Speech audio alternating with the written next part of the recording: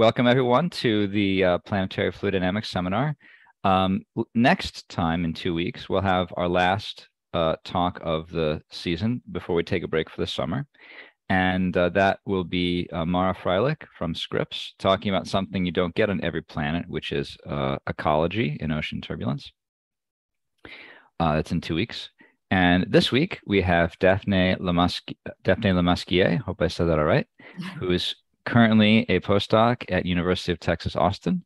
She got her PhD from Aix-Marseille Université in uh, 2021, and I just found out will shortly be taking a faculty position at St Andrews in Scotland. So, with that, welcome, Daphne, and uh, we're glad to have you. That's a great group in Scotland. Thank you. Yeah, I'm really excited. Thank but you very so much. numerical. They're so numerical. Can you get them away from their computers? Yeah, may, I, will try. I'll see if I can set up a lab in Dundee, like work in collaboration with Dundee to set up a lab. And yeah, we'll see. I'm really excited.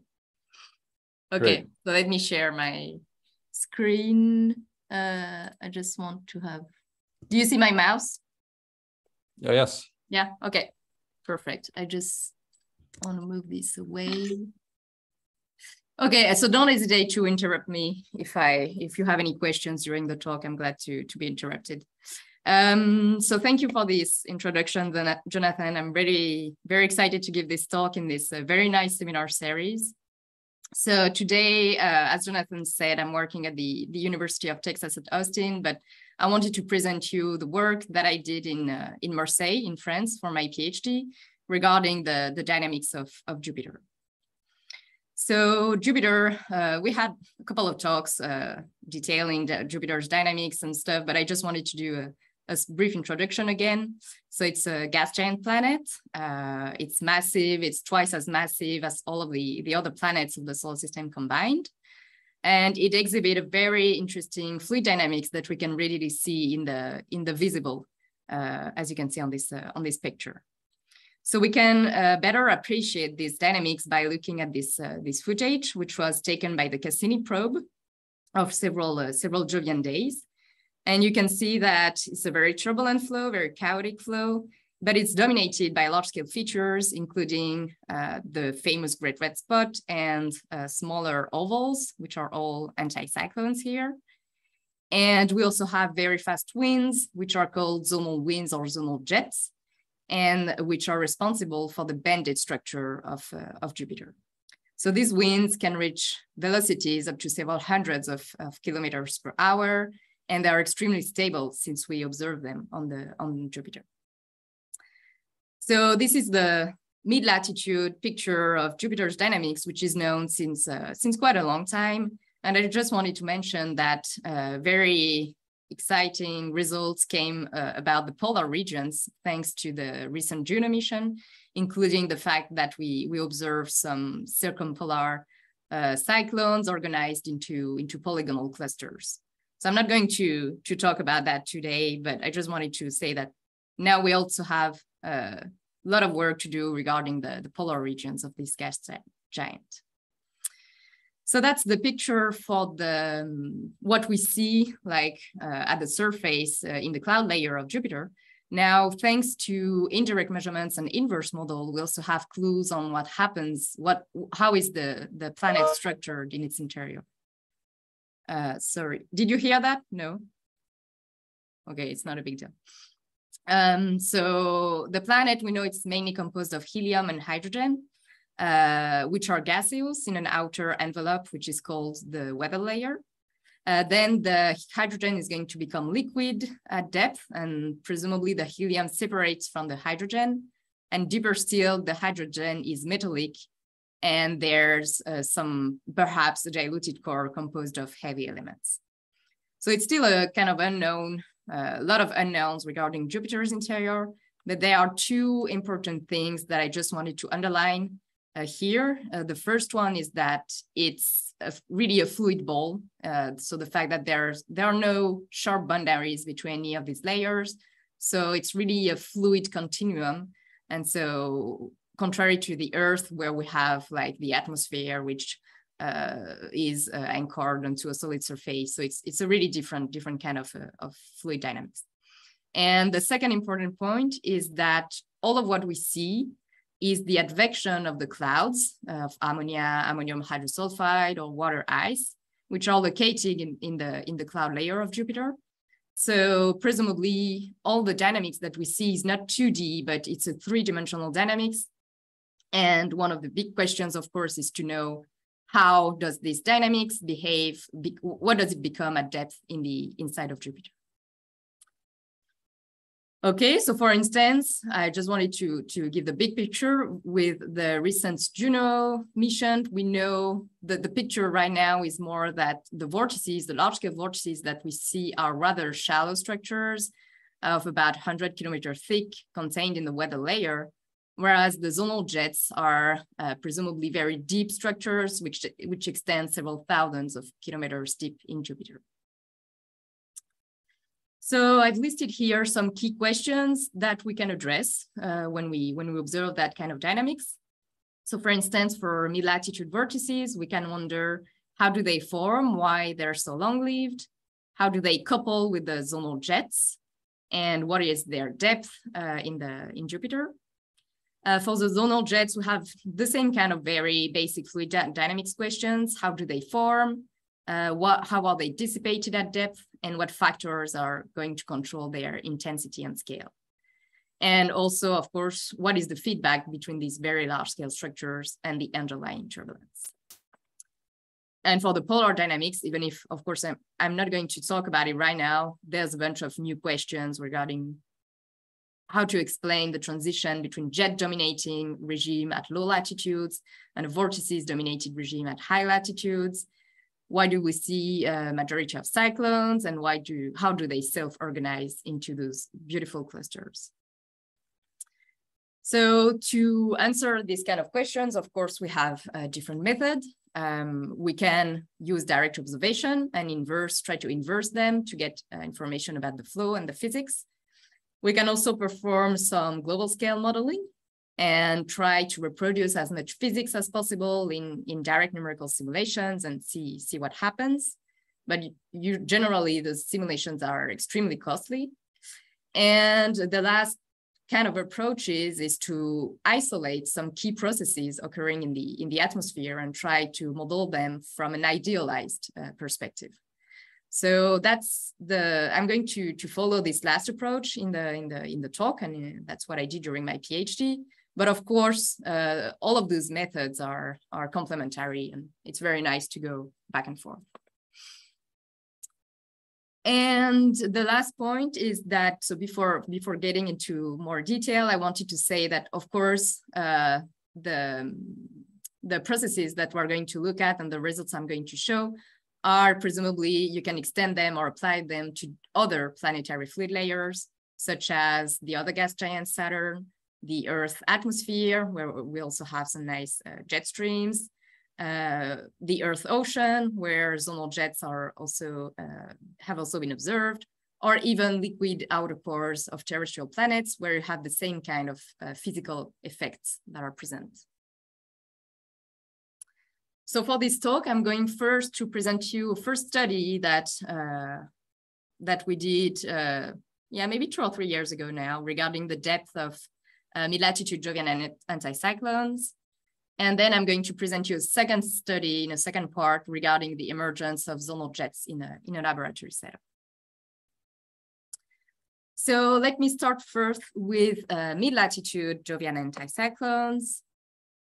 Uh, so of course, what I'm going to present is not uh, only my PhD work, it's the results of uh, work that was starting a long ago that involved a couple of people uh, from, so in, including uh, Phil Marcus from Berkeley, my PhD supervisors, Benjamin Michael uh, at IRPHE, Patrice, who is at IRPHE too, Pedram Hassanzadeh uh, in Houston, and Julio, who was uh, PhD at IRPHE too, but was not now in Brussels. So the depth, the question of the depth of uh, Jovian anticyclones arise because at least up to recently, we had no we had no direct measurements of how deep uh, those vortices were. And so, for instance, uh, Hide proposed in 1961 that maybe the great red spot is a Taylor column and extends deep into Jupiter's interior up to an unknown solid surface uh, at depth. So of course, now we know that there's no solid surface uh, and these vortices are rather modeled as floating structures contained in the weather layer of Jupiter. However, uh, up to the Juno measurements, we could not directly really test this hypothesis and measure the vertical structures of those vortices. So one idea is that we could try to seek for analogous structures in the ocean where we have actual uh, measurements. And uh, we could say, for instance, that uh, the floating vortices in Jupiter's atmosphere could be analogous to the Meddies that uh, evolve in our uh, Earth oceans. So Meddy is a contraction of Mediterranean eddies. So eddies that originate from the Mediterranean Sea, which outflows through the Strait of Gibraltar and detach at, at its uh, isodensity level. So this water is uh, warmer and saltier than the Atlantic Ocean water. And when it detaches, it forms an anticyclone, a pocket of uh, water rotating in the anticyclonic direction. And you can see on this uh, salinity profile of a Meddy that it's a very compact structure, really floating in the stratification with a kind of ellipsoidal shape, which is about 100 times uh, thinner than white. Uh, so the idea is that, okay, we have those measurements, maybe we can try to predict what should be the, the equilibrium shape of these structures, and we can try then to apply that and use this prediction to predict the depth of uh, Jovian anticyclones. So to predict this shape, we first need to identify the key physical ingredients that are responsible for this shape. So of course, the first one is rotation, the rotation of the planet.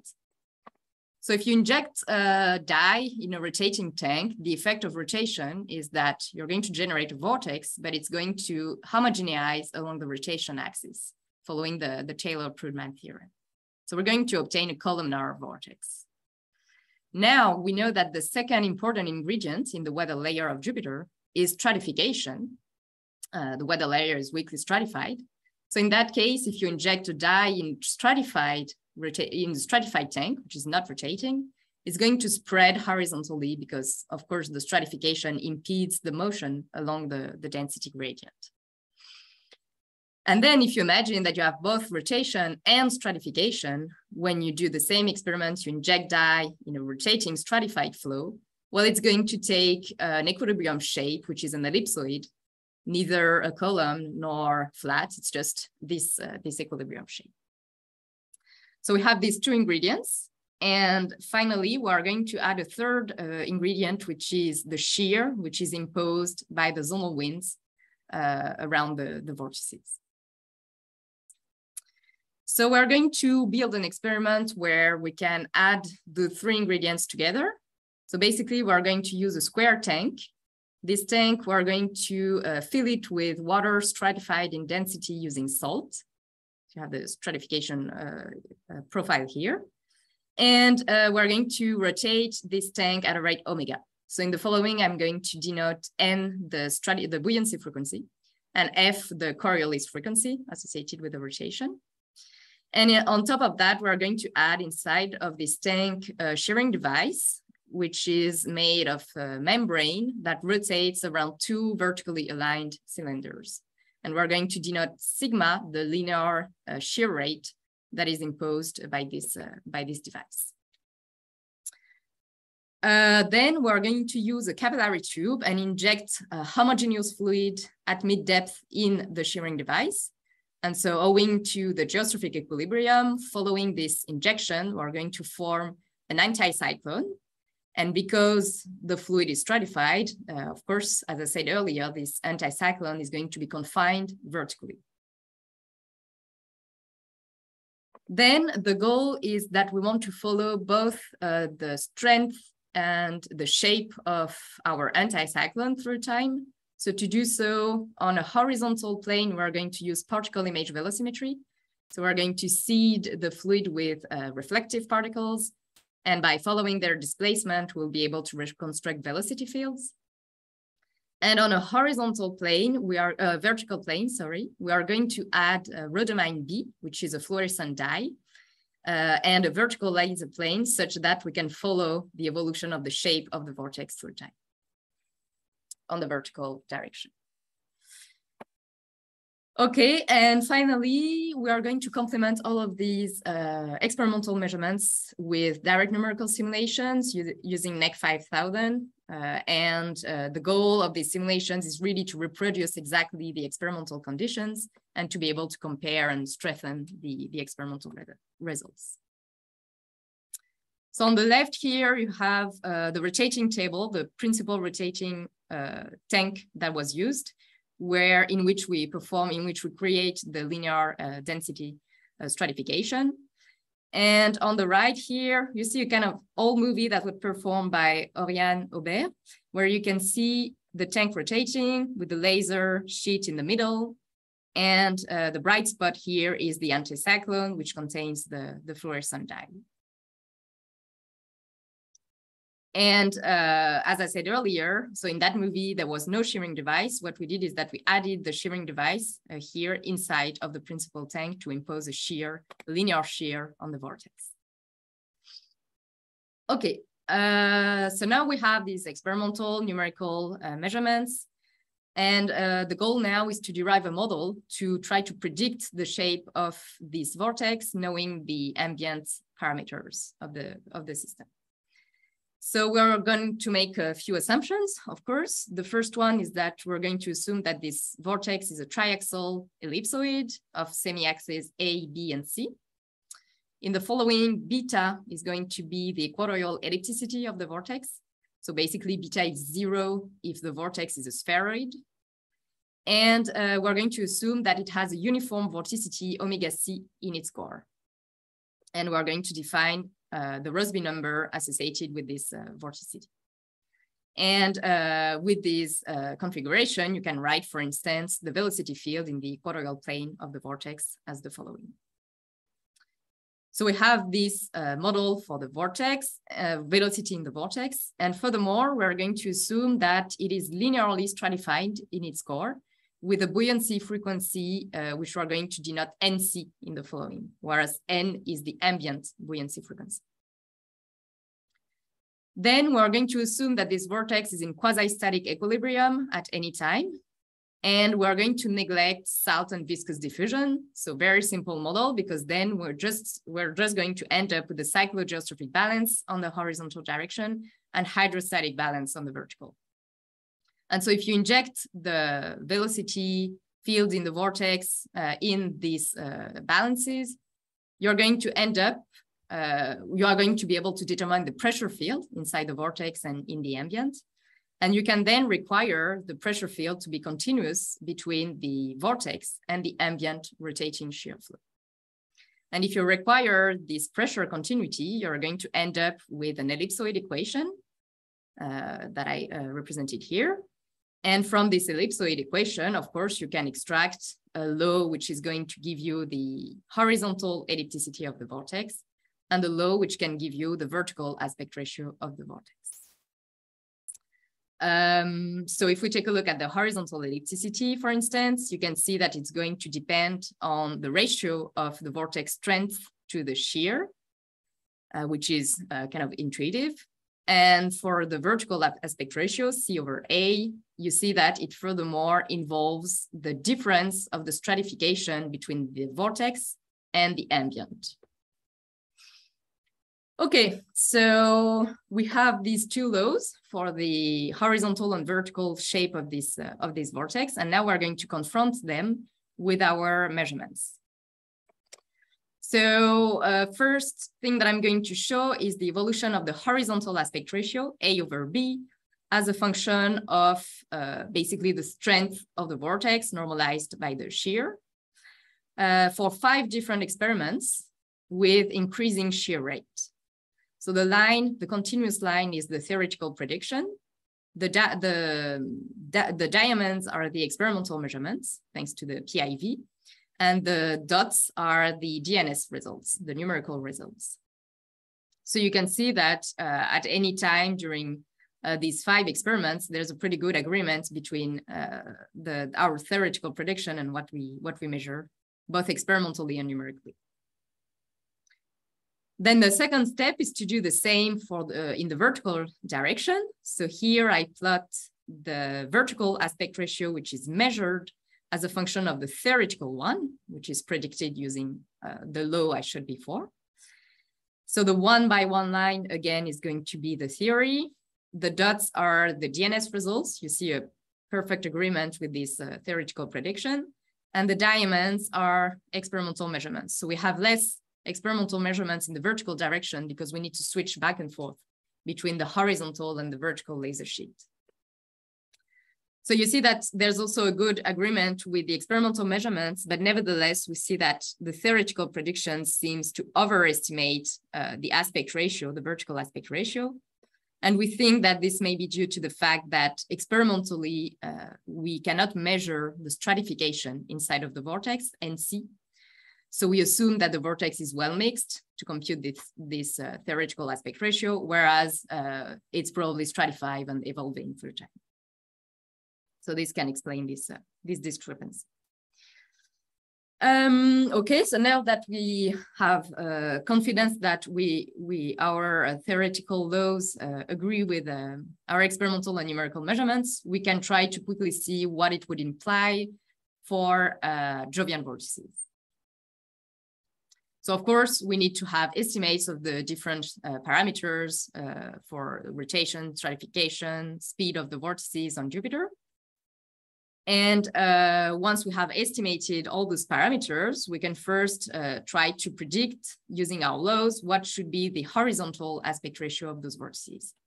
So I've done it for uh, the great red spot in 1979, the oval BA and the oval DE and BC. Um, so here, the continuous line represents what is measured, the horizontal aspect ratio that is measured uh, at the cloud level. And the dashed line represents what is predicted by our uh, theoretical laws. So you can see that we, we do pretty good in predicting what is the horizontal shape, what should be the horizontal aspect ratio of those vertices. Now that's just a check because we can actually measure it. What's more interesting, it's what happening, what, what it means uh, on the vertical direction.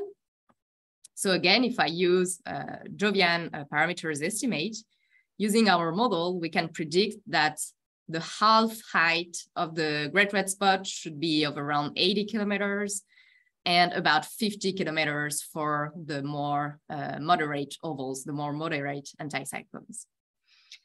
So this means that uh, this confirms the fact that those vortices are very shallow structures because this total thickness of between 100 and 200 kilometers is very small compared to their width, which is of several thousands of, of kilometers. So they are very lenticular vortices in the weather layer of, of Jupiter.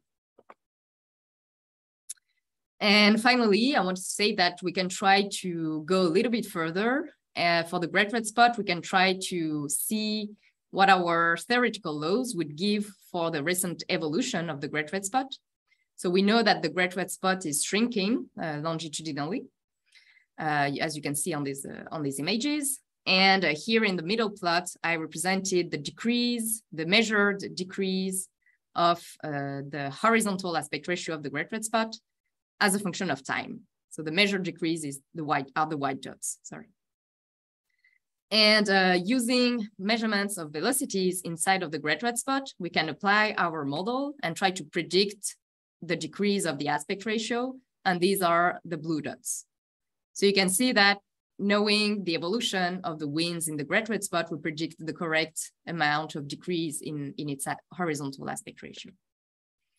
And again, if we switch now to the vertical direction, which is uh, more interesting, we, we obtain that despite this shrinkage, uh, this is not enough to significantly perturb the total uh, vertical extent of the red spot, which has probably remained roughly constant during this whole, this whole evolution. Okay, so if you're interested into more details about this study, I've just listed the, the papers associated with it, uh, including our, if you're more interested about the Jovian application, our last Nature Physics paper, but otherwise we also have Journal of Fluid Mechanics paper, which describe in more uh, detail the, the associated fluid mechanics. And finally, I wanted to conclude that part by quickly commenting on the latest JUNO results, where we finally had uh, me vertical measurements of the, at least the anomaly, the thermal uh, anomaly associated with the with these, those vortices. So for instance, these represents results from the microwave radiometer measurements for the great red spot and, and a smaller anticyclone and cyclone.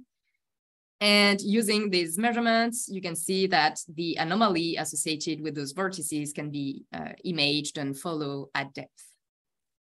And so here I've superimposed the results that I showed you before regarding the total thickness of the great red spot and the smaller ovals. And you can see that we obtain roughly the good order of magnitude compared to, to what was measured, what was uh, deduced from these uh, JUNO microwave radiometer measurements knowing that here what we give is like the extent of the vortex, the extent of the winds of the of the vortex, whereas here uh, what the JUNO measurements give is rather the density anomaly associated with those uh, with those vortices, which are two different things. Okay, so that's all I wanted to say regarding the, the first part regarding uh, Jovian anticyclones. And now I'm going to switch to the second part of my talk regarding a laboratory model of zonal jets. So again, um, this, uh, this project uh, was started before, before I started my PhD, namely by Jon Aurnou at UCLA and Simon Cabanes, who was a postdoc at IRPHE before I started my PhD. And of course, my supervisors, Benjamin and. Um, okay, so like before, uh, like for the vortices, we are first going to start by seeking what are the fundamental ingredients that we need in the system in our experiment to reproduce zonal flows. So the first one, uh, so here on the left, I reproduced, I, I, I drew a schematic of, let's say, a vertical cross-section of Jupiter with the zonal winds extending parallel to the rotation axis. And uh, the first ingredient that we need is going to be, like before, the rotation. So again, the effect of the rotation is to constrain the flow along the rotation axis. And uh, regarding the turbulence perspective, what's interesting is that if you homogenize the flow along the rotation axis, you're going to end up with a quasi bidimensional flow because it's going to behave the same at every vertical level, basically. And uh, in terms of the turbulence, it means that instead of having a forward cascade of energy from the forcing uh, scale, we're going to have an inverse cascade of energy from uh, the forcing scale up to a larger scale, which could be, for instance, the, the scale of the jets or the scale of the, of the vortices. Then, uh, besides rotation and quasi-bidimensionality, we need a beta effect. So the beta effect can be understood as a topographic effect. So basically, if you imagine a fluid column in this uh, spherical shell with a vorticity zeta, uh, you can describe, you can understand the beta effect by the conservation of uh, potential vorticity. So basically, if you move that column towards the north, it's going to be squeezed, and so its vorticity is going to decrease. Whereas if you move it towards the south, it's going to be stretched, and so its vorticity is going to increase. And so you can understand the beta effect as uh, being due to this, as representing those vorticity changes due to fluid height uh, variations with cylindrical radius. So we can express the beta parameter as depending on the slope of uh, the fluid height, h. And uh, what is important to, there are two important consequences for the, the presence of a beta effect. The first one is that it's going to introduce a new type of waves, which are called Rossby waves, propagating westward. And the second important consequence is that it's going to uh, make the turbulence anisotropic. So if you compare here at the top turbulence without 2D turbulence without a beta effect, and at the bottom turbulence with a beta effect, you can see that in the presence of a beta effect, you have a, a very nice zonation in the east-west directions that is going to develop. So the beta effect is really the important parameter for the for the emergence of the zonal circulation. And at this point, I just wanted to define two scales, the transitional scale, which is basically the smallest scale at which at which turbulent eddies are going to be affected by the by the beta effect. And the Rhines scale, which you can uh, think of the large scale of the equilibration of the jets, of the zonal jets.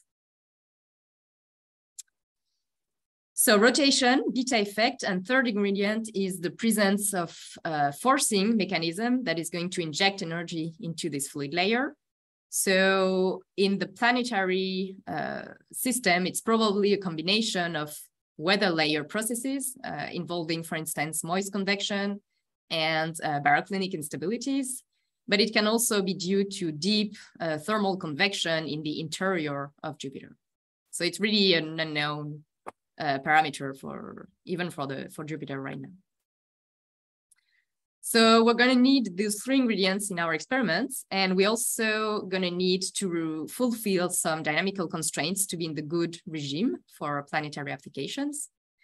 So of course, we need the Ekman number to be vanishing because we want the friction to be as small as possible. We want the Reynolds number to be uh, very high because we want the flow to be turbulent. We want the Rossby number to remain small because we want the flow to be um, to be rotationally constrained, to be quasi-geostrophic. And finally, we want the zonostrophic index, R beta, to be large, meaning that we want the scale of the jets to be large compared to the transitional scale.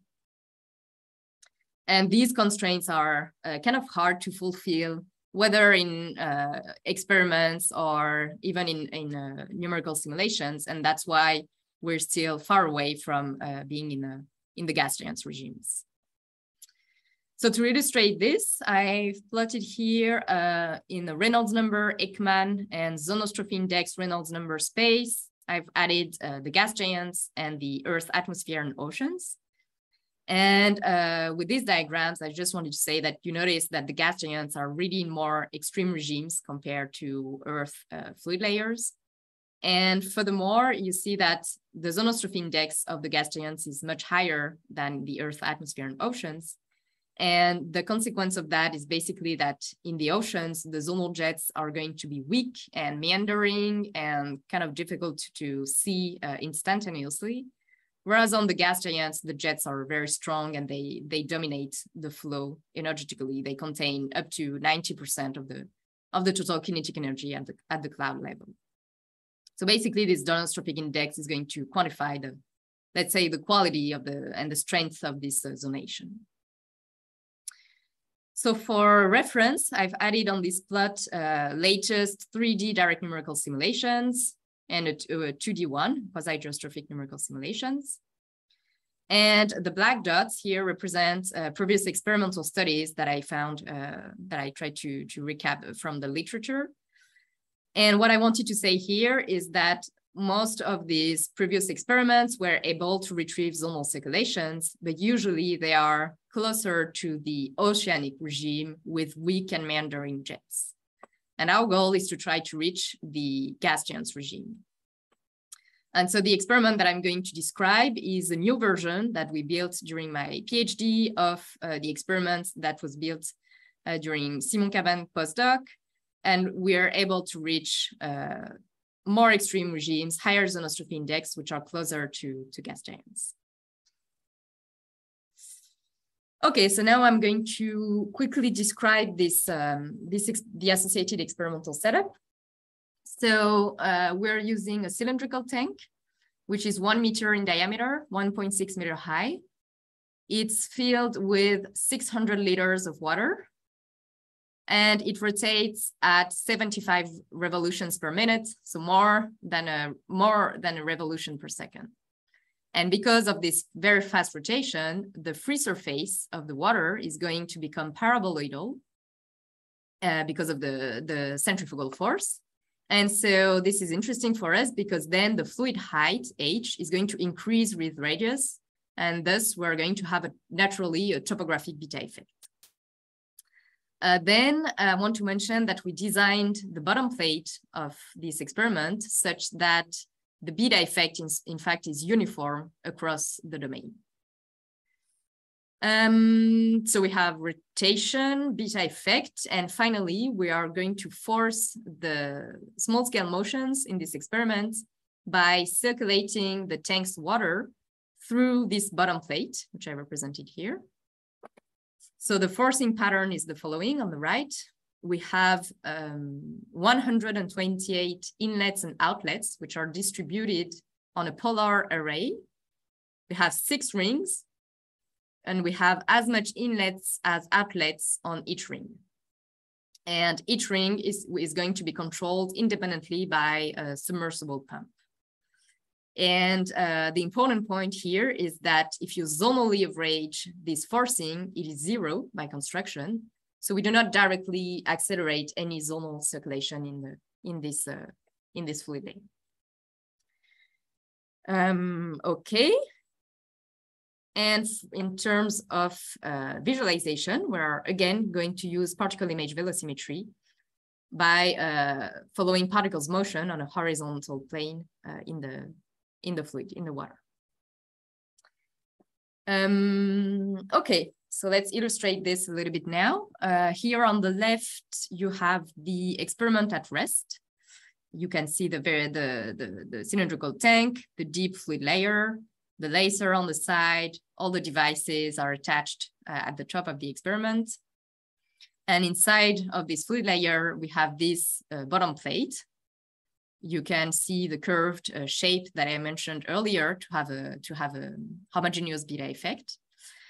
And uh, if you turn it upside down, you see all the hoses and the submersible pumps placed above, which are used to, to circulate the tank's water through the bottom plate.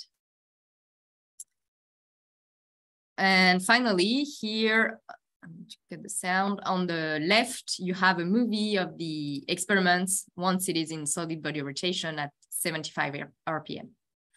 So you see here the very deep uh, paraboloidal free surface that develops after once we are in solid body rotation. Okay, so that's it for the presentation of the of the experimental setup. Now I'm going to show you some some results that we we obtained with this setup. So the first movie that I want to show you is just a qualitative movie that shows the motion of the particles uh, 15 minutes after the forcing uh, was turned down. So once we have reached a, a quasi-steady state. And uh, it's accelerated 40 times compared to, to real time.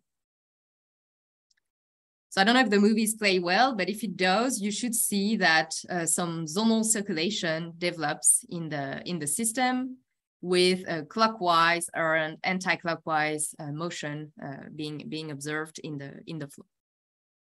So we are able with this experiment to reproduce uh, zonal circulations, instantaneous zonal jets, and uh, that's the first result. But our surprise was also that uh, we identified different regimes of zonal, of turbulent zonal jets. So now I'm going to, to illustrate these two regimes. So on the left, I'm going to illustrate the first regime, regime one, which is obtained at low forcing amplitude. And to illustrate it, I'm going to show a movie of the azimuthal component of the velocity accelerated 50 times. And this time the movie starts from, from scratch when we turn on the forcing. So on this movie, you see that uh, once the turning is, the forcing is turned down, we have a fast development of six or around six narrow prograde and retrograde jets that occupy the whole uh, experimental domain. So this is what I'm going to call regime one in the following of the talk. And uh, if I do the same experiment, but at much higher forcing amplitude, we're going to obtain a regime two, second regime, where uh, you can see that in this second regime, we start with the first regime, but eventually the jets are going to migrate and merge and we have, in the end, a totally new uh, steady state, statistically steady state, where we have less prograde jets, which are also broader and more intense in that second regime.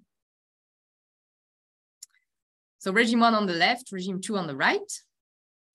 Um, now I wanted to illustrate these two regimes with a space-time diagram. So here I'm going to show the zonal flow profile as a function of time. in uh, rotation time units. And you can see in regime one that uh, the zonal flow equilibrates quite quickly and is very steady after that through time. Now, if I plot the same space-time diagrams for regime two, you see that we start in this first regime, regime one. Then we have quite a long transient with uh, drifting and merging. And we have then at the end a new statistically steady state that I described that you saw earlier on the, on the movie. So uh, again, also I want to stress out that the color scale are different on these two, on these two space-time diagrams. And finally, uh, here on the right, I plot the evolution of the kinetic energy as a function of time. Uh, the purple line is the total kinetic energy and the red line is the kinetic energy in the zonal flow only. And I just wanted to say that in the first regime, the zonal flow only contains a moderate fraction of the total kinetic energy.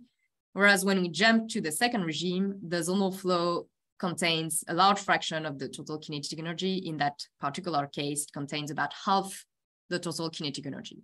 So these are really two different dynamical regimes. And we argue that this second regime is the one that is going to be relevant to gas giants applications. So of course, uh, the next step is to try to understand, to characterize better the transition between these two regimes and to understand, to try to model how this transition is triggered uh, physically. So to answer the first question, we performed some hysteresis experiments, meaning that uh, for given experiments, I changed the forcing amplitude step by step, and I measured on the y-axis the corresponding zonal flow amplitude. So here, the red curve uh, represents uh, the results for experiments where I increase the forcing amplitude step by step. You see a transition between regime one and regime two. And then I did the same experiment, but by decreasing the forcing amplitude. So again, you see a transition between regime two and regime one. But what you can see is that this transition occurs at a smaller forcing amplitude compared to the case when we increase. So in fact, we have identified a hysteresis loop, a hysteresis cycle. And uh, this means that the shaded area, this forcing range is a bistable range where you can whether obtain regime two or regime one, depending on the history of your system. So that's a, a bistable system. Um, so in terms of the qualitatively describing the transition, this hysteresis means that the transition is going to be abrupt. It's going to be a subcritical transition. Um, okay, so that's the first question. The second question was, can we model this transition physically? So I'm going to uh, be rather fast on the model, but basically we built a quasi-geostrophic model of the experiment. So we derived uh, a bidimensional description of the experiment by incor incorporated uh, important 3D effects.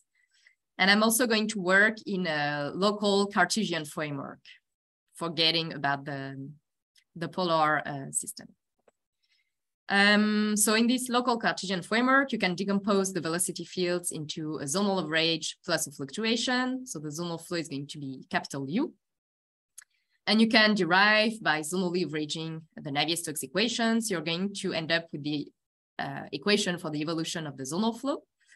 And you can show that the zonal flow is accelerated by uh, the Reynolds stresses divergence, this term.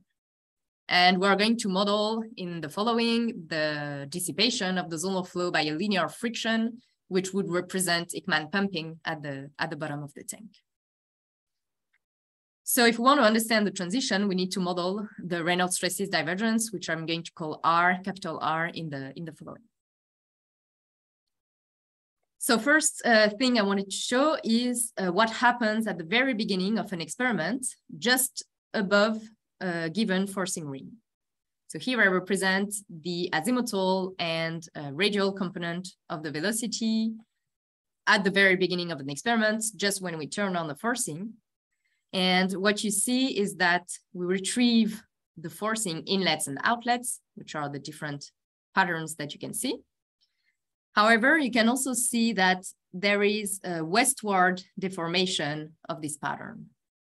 And in fact, this corresponds to the radiation of Rossby waves due to our forcing, uh, due to our forcing when it's turned on, it radiates Rossby waves will propagate towards the negative X direction. And most uh, interestingly, most importantly, if you compute the Reynolds stresses divergence associated with those waves, well, you can show that at the latitude where the waves are emitted, you're going to accelerate a prograde jet, and you're going to, uh, to accelerate a retrograde jet uh, far from the emission latitude. So in the end, if I go back now to the global uh, geometry, what happens in the regime one is that each forcing ring uh, radiates some Rossby waves. These waves accelerate a prograde jet uh, above each forcing ring. And in between each forcing ring, we have a retrograde flow. And that's exactly what we observed experimentally in regime one. So um, that's the picture for regime one. Now it doesn't explain what uh, happens in regime two what we have, why, we, why do we have a transition in regime two? So to understand the transition to regime two, we need to consider the fact that there is a background zonal flow superposed to the radiation of those Rossby waves. So here, uh, the plot on the bottom left represents the Reynolds stresses divergence as a function of the zonal flow amplitude. And uh, so this is uh, numerical uh, results when we, we solve for the, for the linear uh, equations. And the case that I mentioned earlier was the case without a zonal flow, so capital U is equal to zero. In that case, the waves, the Rossby waves are just going to propagate westward. And then once they dissipate and deposit their momentum, they're going to accelerate some zonal flow, as I mentioned uh, before. Now imagine that you reach a zonal flow velocity, u, which is equal to exactly the opposite of the phase speed of those Rossby waves then uh, those waves are going to become stationary, phase lock with the forcing and be able to amplify through time. So basically, these Rossby waves can become linearly resonant with the forcing because they are advected, Doppler shifted by the, by the zonal flow. So the mechanism that I'm uh, explaining here is just linear resonance. And in fact, you can describe this, uh, you, you can parameterize this, uh, you can describe this Reynolds stresses divergence as a Lorentzian as a function of U, the zonal flow. And this Lorentzian is parameterized by some amplitude Rm, which materializes the forcing amplitude, gamma, which quantifies the dissipation of the Rossby waves, and uh, of course, the ratio U over C. So we have this linear resonance that can occur in the system. Now we're going to try to see if it can explain the transition. So what I'm going to do is I'm going to put, to plug this Lorentzian into the zonal flow evolution equation. So that's the zonal flow evolution equation. Again, R of U is the Lorentzian. And uh, we're going to seek the stationary solutions of these uh, equations, the fixed point of this, uh, of this dynamical system.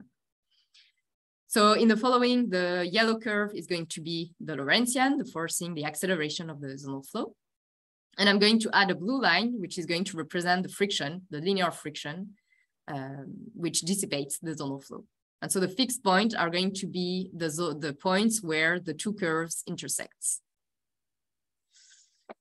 Uh, so we are going to have three possible configurations that I sum up on this uh, diagram. Here I plot the amplitude of the stationary solutions of the fixed point as a function of the forcing amplitude Rm. First configuration, if the forcing amplitude is small, Rm is small, the, the friction curve intersects the Lorentzian at only a small zonal flow amplitude. And this is going to correspond to regime one, which would then be a sub-resonant solution, sub-resonant regime.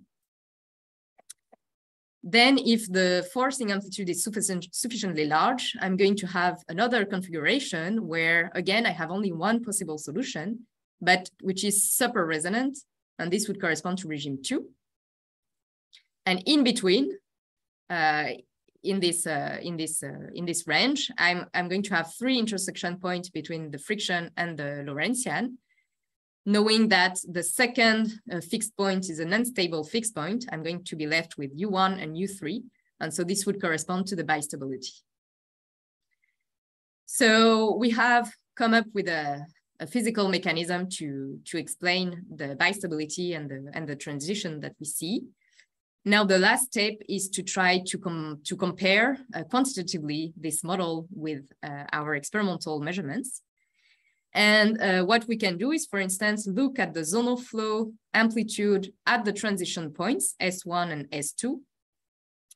And um, if we do this, we obtain the dashed curve in this, uh, in this hysteresis diagram, meaning that we quantitatively predict the correct amplitude for the zonal flow when the, when the transition occurs in the, in the experiment.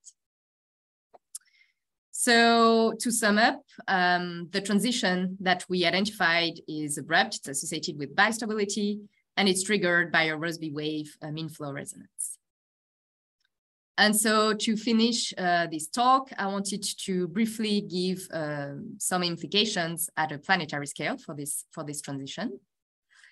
Um, so the strict mechanism of wave jet resonance was uh, developed initially by Charney and DeVore in 1979 to account for the transition between blocked and zonal uh, configuration for the jet stream in Earth's atmosphere. So that's the first kind of application that you can think about. Second application was recently uh, underlined by uh, Corentin Herbert, uh, and he involves, he, he, he uses this kind of um, wave jet resonance to explain the transition to superrotation in, uh, in the atmosphere.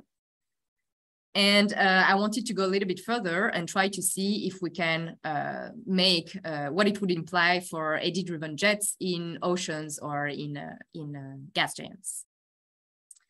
So to do so, I'm going to look at uh, the phase speed of Rossby waves. So these are just very simple, uh, simple velocity comparisons. And uh, if those Rossby waves are still going westward, even after their advection by the zonal flow, it means that we are in regime one, sub-resonant regime. Whereas if they are going eastward, it means that we're in regime two in the super-resonant regime. So I did a first uh, very simple uh, comparison uh, for the, the Earth ocean. So here you have um, the zonal uh, propagation speed of uh, eddies in the ocean uh, derived by uh, Klocker and collaborators. And um, you can see that in the vast majority of, these of the ocean, the phase speed is westward, even after the Doppler shift. So this would mean that we would be in regime one. Whereas uh, maybe in the Antarctic circumpolar currents, we have an eastward phase speed, meaning that we could be in the second uh, super-resonant regime. Uh, now, if we do an application for the gas giants, um, I used uh, these measurements of hotspots displacements by Arregi and collaborators. And they say that these hotspots could correspond to Rossby waves uh, propagating again eastward even after the Doppler shift, meaning that the corresponding zonal jet would be a super resonant jet. And for Saturn, we have the same conclusion using the north ribbon displacement, which is a feature located at 42 degree north. This uh, displacement of the north ribbon could correspond to uh, Rossby waves with, again, an eastward uh, Doppler shifted phase speed, which would correspond to a super resonant jet. So of course, these applications are just very simple. I just did uh, velocity comparisons. It would need a much more work to uh, address if the resonance is still relevant with planetary-like uh, forcing, like thermal forcing or something like that. Okay, I see that I'm completely out of time, so I'm gonna skip this part totally and uh, briefly jump to uh, my conclusion. So basically the big picture is that um, the vortices that we see in Jupiter's atmosphere are uh, supposedly shallow structures uh, of about 100 kilometers uh, deep, uh, whereas the jets are deeper structures. I've presented a setup where we can model extreme regimes of zonal jets and I want to underline that the Rossby waves play a key role in um, terms of nonlinear interaction with the zonal flow. And the last part that I uh, just skipped was to show that the second regime is consistent with the zonostrophic turbulence regime relevant to gas giants, and that we performed additional quasi-geostrophic simulations to, to elaborate on, on that. And I'm going to skip all that future work and just say that, of course, the most interesting uh, future uh, studies to perform would be to try to couple um, basically what I showed in the first part, the fact that we have shallow vortices in a stratified weather layer and what's happening deeper, uh, where I showed barotropic zonal jets. So it would be it would be really nice to be able to perform studies where we can couple a deep barotropic dynamics with the shallow baroclinic dynamics which occurs in the in the weather layer of Jupiter. And with that, I thank you very much. Sorry for the time, this excess of time, and I'd be glad to answer any any question that you can have.